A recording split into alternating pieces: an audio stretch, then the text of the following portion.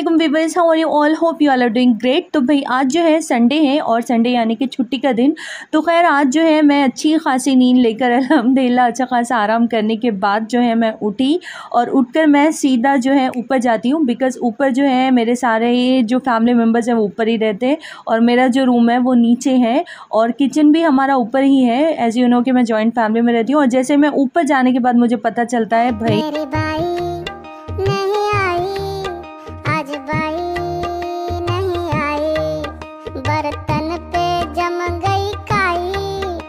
खैर जनाब एक्सप्लेन करने की कोई ज़रूरत नहीं है। आप लोग समझ ही सकते हो कि कैसी हालत हुई होगी मेरी ये सोचकर कि भाई एक तो संडे संडे का दिन यानी बेफिक्री का दिन और भाई आप सोचते हो कि भाई आज जो है कोई फ़िक्र नहीं कोई टेंशन नहीं और आपने जो है अ, सिर्फ़ चिल करना है और अपने हिसाब से जो है सारा काम करना है कोई फ़िक्र नहीं आपको। और फिर फ़ौर से जो है इतना बड़ा टेंशन आपके सर पर जो है सवार हो जाता है आपके सामने आकर खड़ा हो जाता है कि भाई ये सारे काम जो है आपने खुद ही करने हैं। वैसे आपको पता है कि खाला जो है कुकिंग में ही कुकिंग में भी बहुत सारे हेल्प करते हैं हमारी और भाई बहुत सारी चीज़ों में यानी कि सब्ज़ी तरकारी भी वगैरह कट करके दे देते हैं तो सालन से पकाने का टेंशन होता है। इतना कोई ज़्यादा टेंशन नहीं होता खाला की मौजूदगी की वजह से। अ, लेकिन अब उनके ना आने की वजह से यानी कि खाला के ना होने की वजह से छुट्टी लेने की वजह से बहुत ज़्यादा जो काम है वो हमें ही करना था।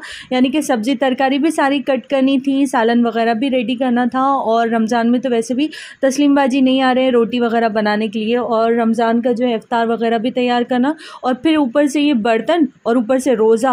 उफ, खुदाया, मुझे तो सोच कर ही झरझरी आ रही थी। बिकॉज़ मुझे ना बर्तन धोने की बिल्कुल भी आदत नहीं है और अल्हम्दुलिल्लाह मैंने लाइफ में कभी बर्तन धोए भी नहीं, ज़रूरत पड़ी भी नहीं, अल्हम्दुलिल्लाह। और जब कभी भी खाला जो है, छुट्टी करते हैं तो फ़ंक्शन हॉल के जो है, हमारे काम वाले वो आ जाते हैं। हलीमा खाला पंशीला ताई, आप लोग पहचानते हो, मैंने एक दो व्लॉग में उनके बारे में बताया था आपको।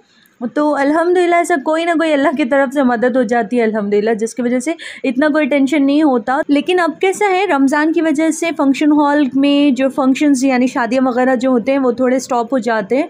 और इक्का दुक्का बस इफ्तार पार्टी वगैरह या फिर किसी की रोज़ा खुलाई वगैरह मतलब जो भी होता है, बस इक्के दुक्के फ़ंक्शंस होते हैं। इतने कोई ज़्यादा नहीं होते रमज़ान में। तो हलीमा खाला और पंशीला ताई जो है, वो छुट्टी पर होते हैं। दैट्स वाई जो है, ये बर्तन हम लोगों ने ही वॉश करना था। तो खैर, बहुत ज़्यादा टेंशन में थी। तो मैंने कहा, भाई, पहले फटाफट से जो है, सालन की तैयारी करते हैं। एक तो लेट उठी थी और उसकी वजह से मैं और मेरी देवरानी जो है, दोनों मिलकर करते हैं, अल्हम्दुलिल्लाह। और जिसके हाथ को जो लगता है, वो काम कर लेते हैं। एज़ यू नो पिछले व्लॉग्स में भी आप लोगों ने देखा है कि हम लोग किस तरह से काम करते हैं। तो खैर, मैंने कहा, भाई, फटाफट से वॉश करके इसे जो है थोड़ा सा दम दे देते हैं। और दम देने के बाद जो है, फटाफट से सालन पकाते हैं। एंड फिर उसके बाद जो है, बर्तन वॉश करेंगे। बिकॉज़ जो है, पहले जो है, रमज़ान में कुकिंग ज़्यादा इंपॉर्टेंट है और फिर उसके बाद जो है बर्तन वॉश करेंगे।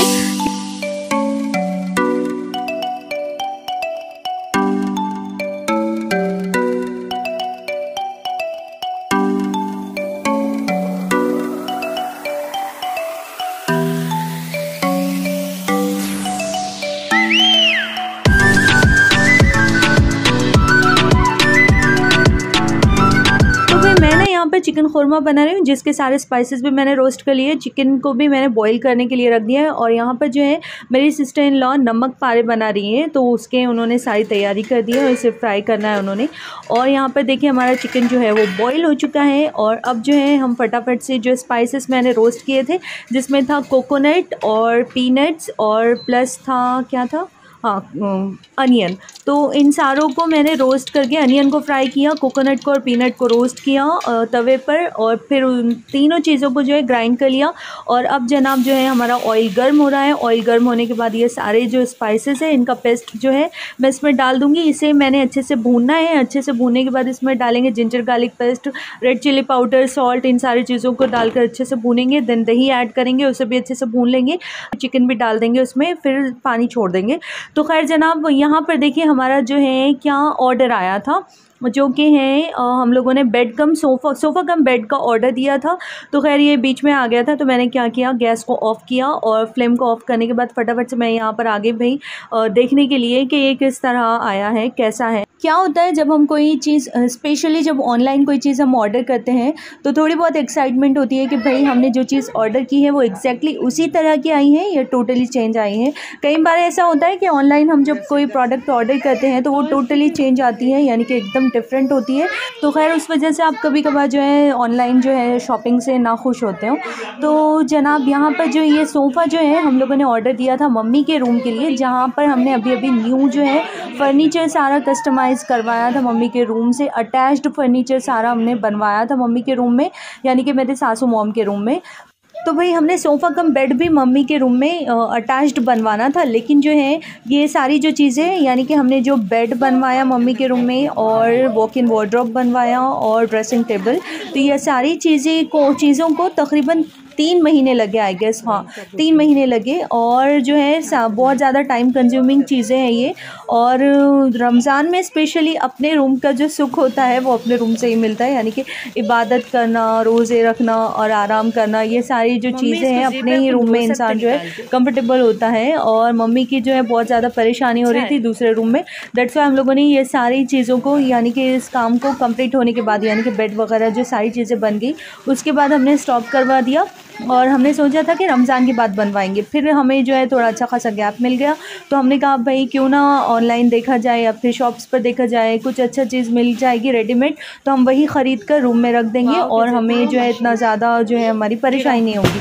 तो खैर जनाब आप देख सकते हैं इस सोफ़ा कम बेड को हमने अनरैप कर दिया है अनपैक कर दिया है और भाई ये थ्री सीटर सोफ़ा है जो कि बहुत ही ज़्यादा खूबसूरत बहुत ही ज़बरदस्त और बहुत ही कंफर्टेबल लगा मुझे। तो मैं आपको दिखाती हूँ कि किस तरह से यूज़ कर सकते हो आप इसे। तो फ़र्स्ट आप इसे sofa as a sofa use कर सकते हो ऑब्वियसली और एज अ बेड यूज़ कर सकते हो, और थर्ड जो है, जो कि मोस्ट इंटरेस्टिंग है दैट इज़ आप इसे एज अ लाउंजर यूज़ कर सकते हो। तो खैर मैं वन बाय वन आपको सारी चीज़ें बताऊँगी।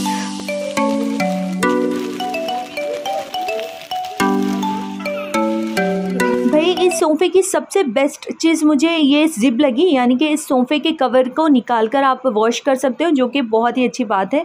और भाई, सबसे पहले हम इसे एज़ अ सोफ़ा सेट करेंगे, यानी कि आप देख सकते हो, ये एज़ अ सोफ़ा सेट हो गया। और भाई आप देख सकते हो बहुत ही ज़बरदस्त ये लग रहा है और फर्नीचर से ये बहुत ही परफेक्ट मैच हो रहा था। तो इस पर बैठ कर वगैरह देखेंगे, बहुत ज़्यादा कंफर्टेबल है। अब भाई हम इसे चेंज करेंगे बेड में। आप देख सकते हो, ये एज अ सिंगल बेड जो है, ये कन्वर्ट हो चुका है, बहुत ही ज़बरदस्त ये लग रहा है। और भाई आप इसे तीसरा इस टाइप से भी यूज़ कर सकते हो यानी कि सॉफ्ट बेंच क्या कहेंगे आप इसे जो भी कहते हैं कमेंट बॉक्स में ज़रूर बताना। तो खैर इस तरह से भी इस्तेमाल कर सकते हो एज अ बेड भी यूज़ कर सकते हो सोफ़े के भी दो तीन टाइप के सोफ़े बनते हैं इसमें इस तरह का भी सोफ़ा आप यूज़ कर सकते हो। और जनाब सबसे बेस्ट जो चीज़ है एज अ लाउंजर ये क्या है मम्मी? लाउंजर है ये ये दिस इज़ ओ लाउंजर कितना तो आपको रिलैक्स चिल करना है रिलैक्स करके बैठना है तो आप ऐसा यूज़ कर सकते हैं इसको कैसा है? कंफर्टेबल है? ओ, ओ जी।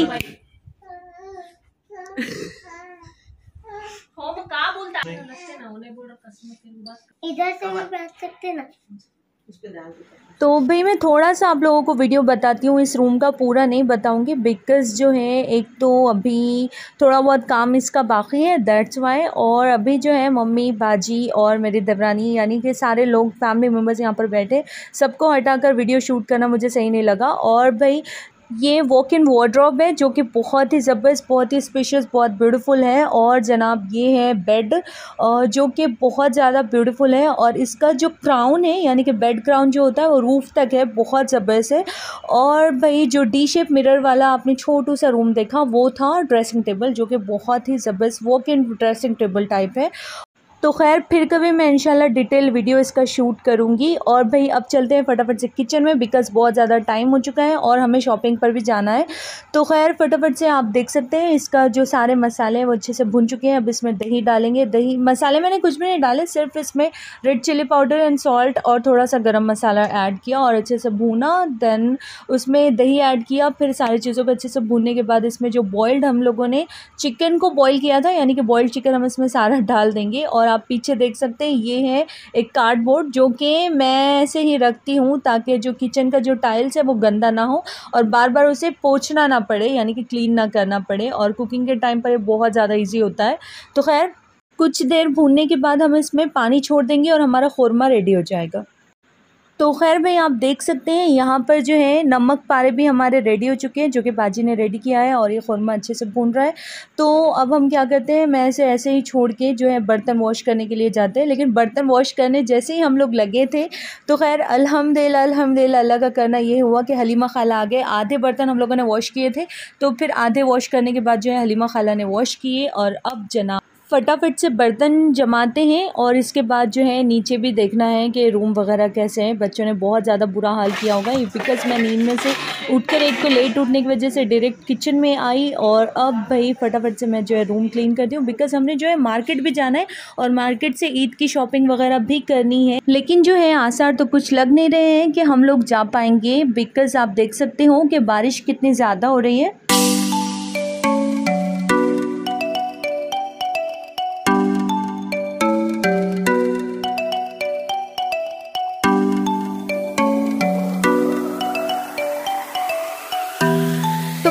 तरह का संडे हमने सोचा हुआ था, बिल्कुल भी हमारा संडे वैसा नहीं गया। कामों में मसरूफियत में कब और किधर ख़त्म हुआ, बिल्कुल भी पता नहीं चला।